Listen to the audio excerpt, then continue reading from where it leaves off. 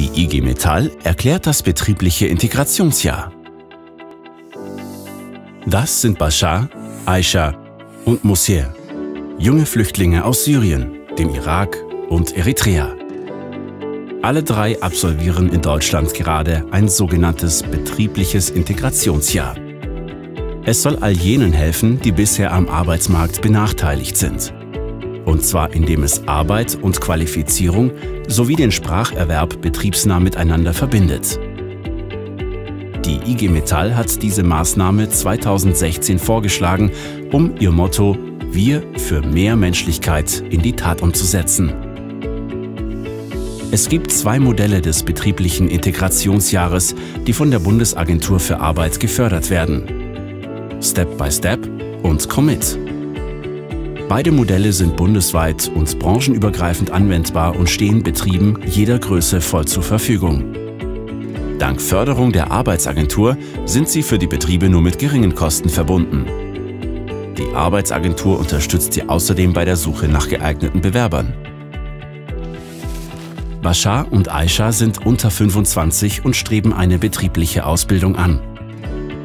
Das Modell Step by Step ermöglicht ihnen in vier Phasen den Weg in die Ausbildung.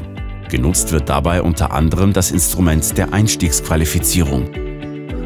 Dabei werden sie eng vom Betriebsrat und von Mentoren betreut.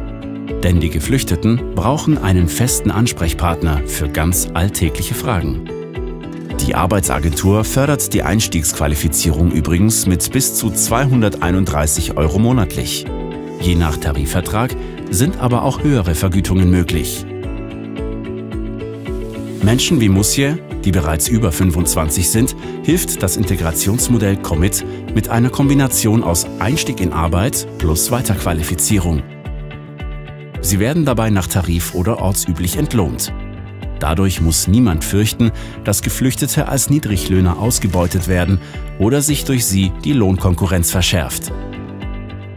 Das wichtigste Ziel von Comet ist aber das Beschäftigungsverhältnis über die Laufzeit des Modells hinaus zu stabilisieren und den Qualifizierungsweg fortzusetzen, im besten Fall mit einer abgeschlossenen Berufsausbildung. Bashar, Aisha und Musje sind sehr motiviert, sich erfolgreich beruflich zu integrieren. Und auch ihre Betriebe sind zufrieden mit den neuen Kolleginnen und Kollegen. Weitere Informationen unter www.igmetall.de/migration und www.arbeitsagentur.de.